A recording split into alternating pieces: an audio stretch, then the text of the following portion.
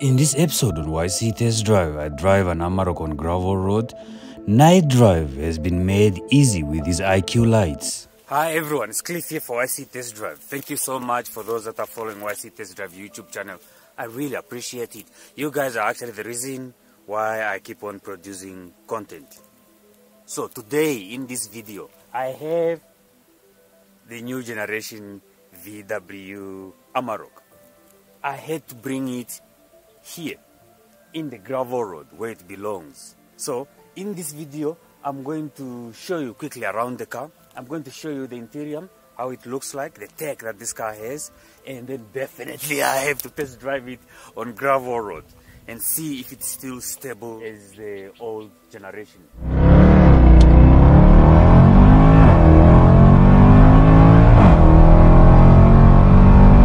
It's 2 liter produces 154 kilowatts. That's uh, 500 newton meter of torque.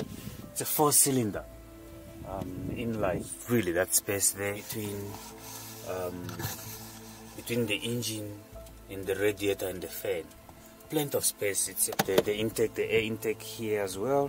The grill dark grill looks different. What is this? Here this space. This thing will be sucking insects telling you if you drive in the night or if you do off-road probably one has to put a net here. But I can see there is some space for screws so someone can put that the sensors there. The fog lights LED LED lights with LED indicators which is different from the other one. And this chrome silver chrome all the way to the to here. The bonnet looks slightly different with that curvature I feel. There's an 18 inch alloy rim with these huge black carry bars so of course the side skirts. And you have this matte black on your on your mirrors and silver right on top with LED indicators. The wheel arch is trimmed in black plastic which makes it quite unique. And you have this curvature here. And you also have the brake pads right at the back here as well um, which is really quite good to have brake pads right here. 4Motion written right there this time they did it for everyone. Older generation we had the issue with the tail light sometimes would the clips would break off but this is quite different. Of course it doesn't come with this Amarok in black. And we had to put black stickers there just to make it pop out. You have the reverse camera there. The difference between also the style and the life the style has the chrome finishing uh, on the rear bumper. We have the roll bar so for one if you want to put a canop you cannot put a canop with this roll bar. Unfortunately you have to remove them. You have this black on your loading box uh, black trim all the way the plastic black trim. Yeah, right here the tailgate is very very very light.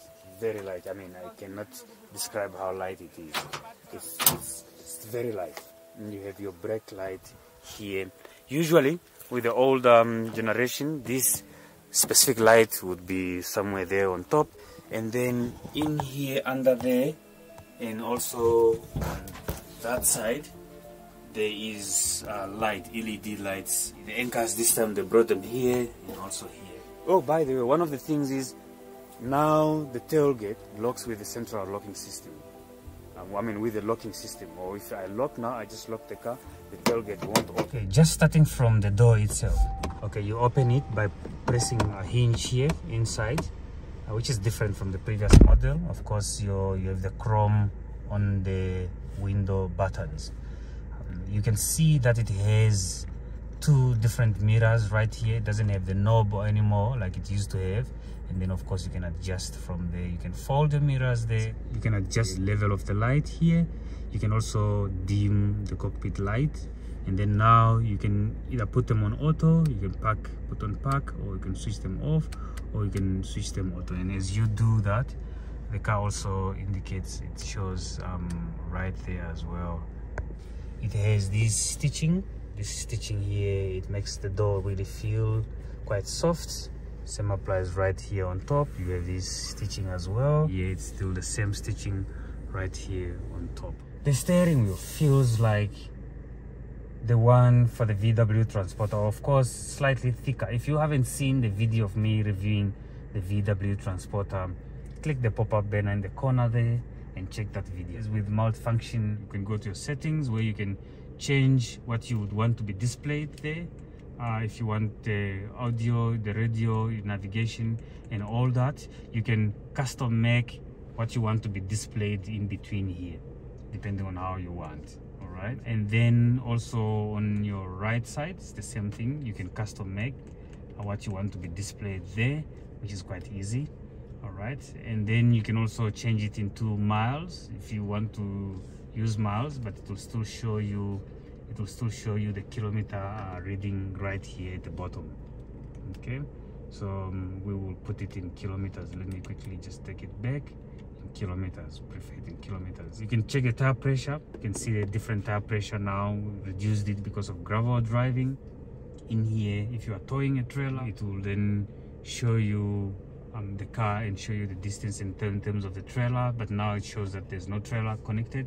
You can have that those settings and then you can have um, the off-road settings where you can select in terms of uh, pitch and roll um, how the car is banking angles from one side to the other and how it goes up and down in terms of um, if you are doing off-roading all right and you can also then see how the power is distributed which wheel is putting more power which wheel is putting less power. You can also select and see that. In here as well.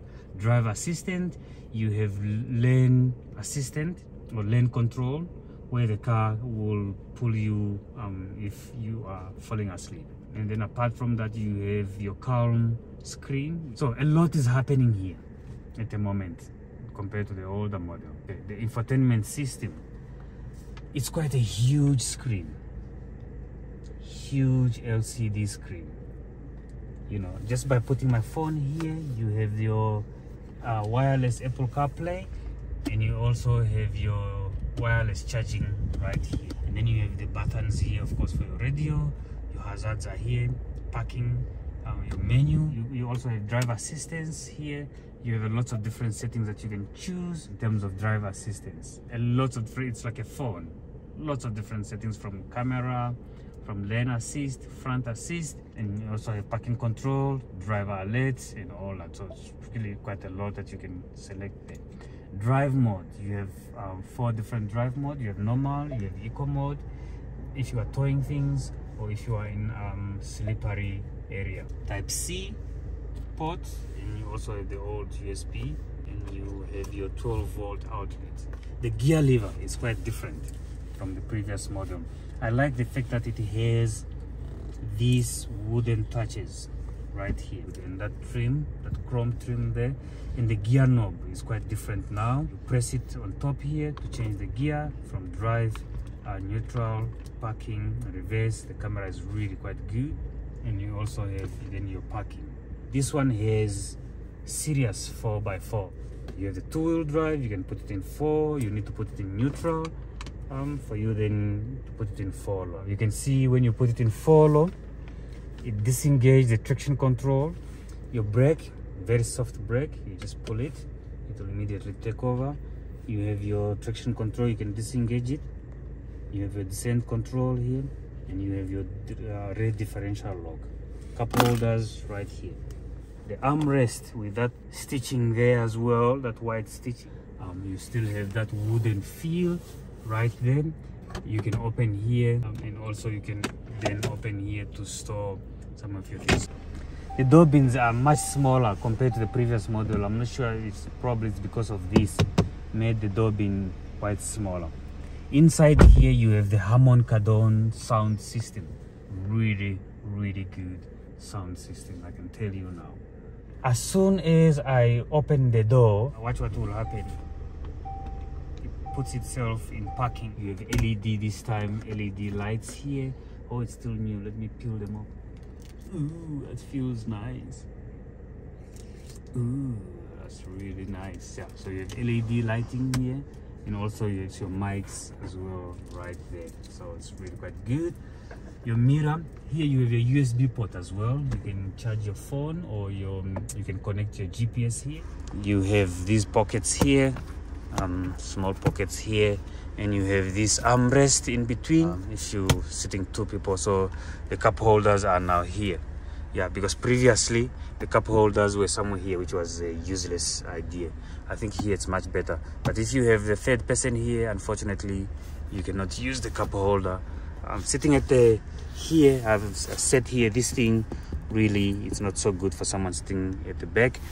Uh, in the middle but if you are sitting this side there's enough uh, leg room because you can push your legs right under there so that's quite um, that's quite good it's quite okay. And you also still have these hinges here. This pocket looks smaller than how it used to look like in the previous model. Uh, the good thing is now you have the air vent here and also you have this house 230 volt a plug and also a 12 volt dc there.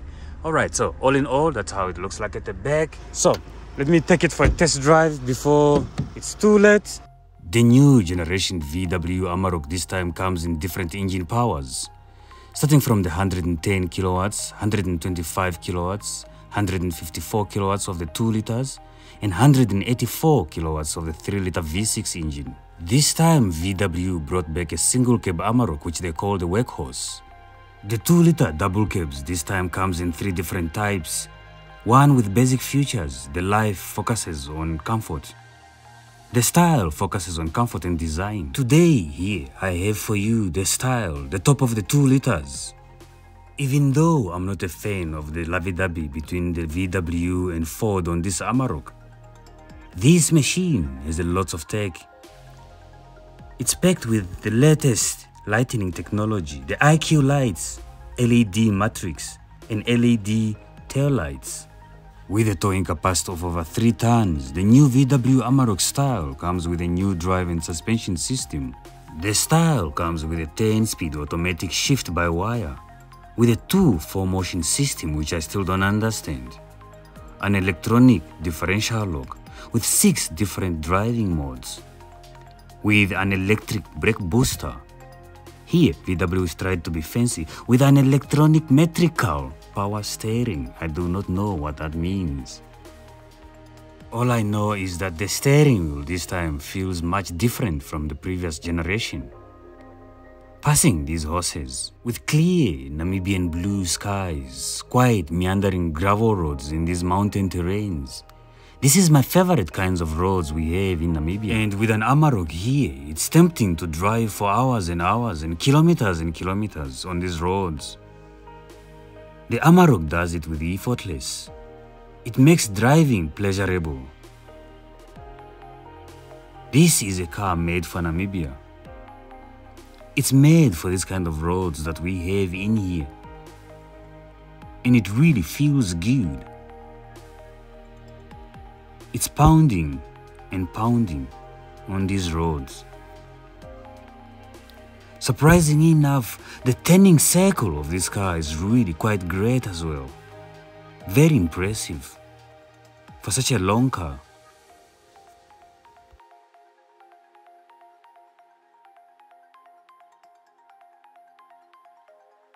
I'm on two-wheel drive at the moment. So I just want to feel on two-wheel drive if it will slide when I come on caves like this one. Okay, let's see. Coming hard on this cave. Let's see.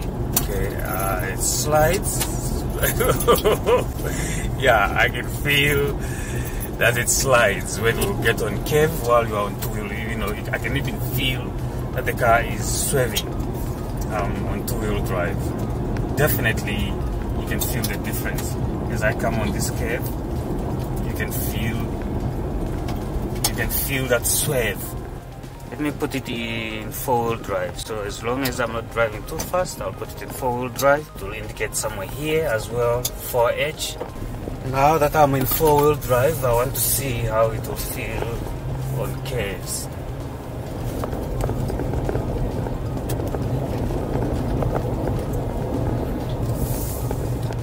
okay the power is evenly distributed. I like it. Um, it. Just feels the steering wheel now feels more solid compared to how it was coming on this bumpy curve. Oops.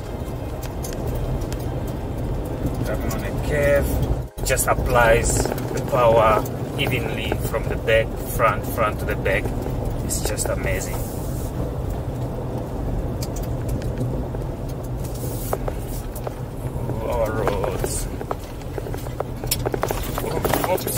Even with this bumpy gravel road, the suspension feels really good. You can feel that it's still solid on the gravel road. It's still really holding with the four-wheel drive. So I'm coming on a sharp curve, descending with the speed that I'm doing now. It's quite good to see how it takes this with ease as well.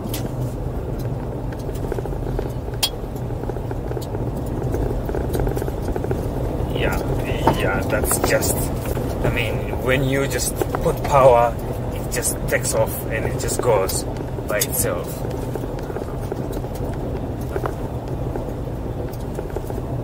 Yeah the, the comfort is still much comfortable uh, like how it was previously. And the fact that the tire pressure is on 1.7 so that makes it really comfortable on gravel road.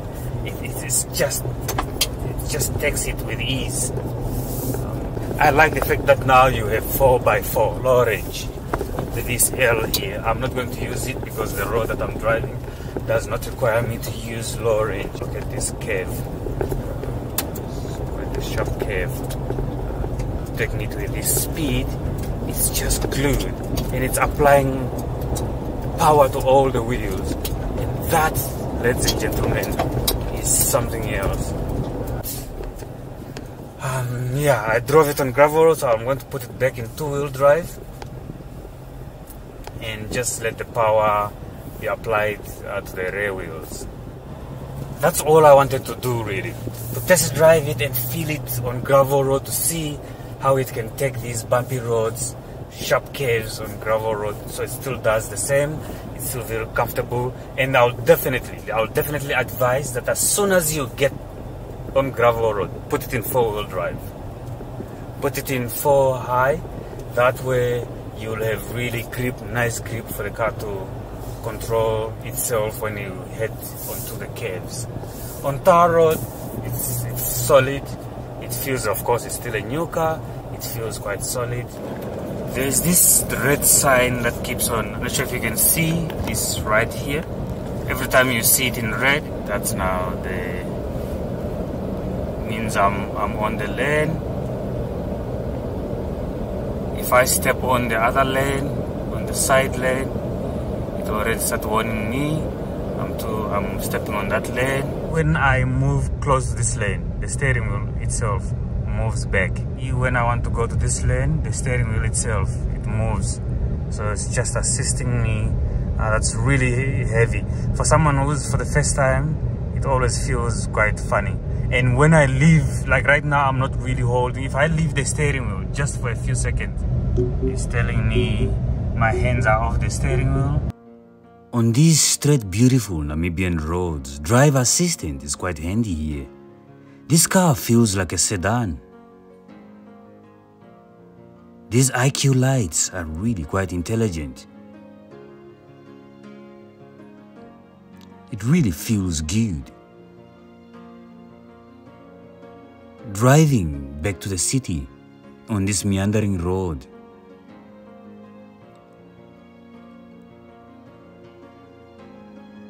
Thank you for watching this video until this far. Please subscribe to my YouTube channel. That way you'll help the channel to grow. Share, comment, and leave me a like. Also, don't forget to tell me in the comment below what kind of cars would you want to see on YC Test Drive YouTube channel. If there is a car that you would want to buy or a car that you would want to sell, contact me, I will help you do that. I will see you in my next video. Goodbye.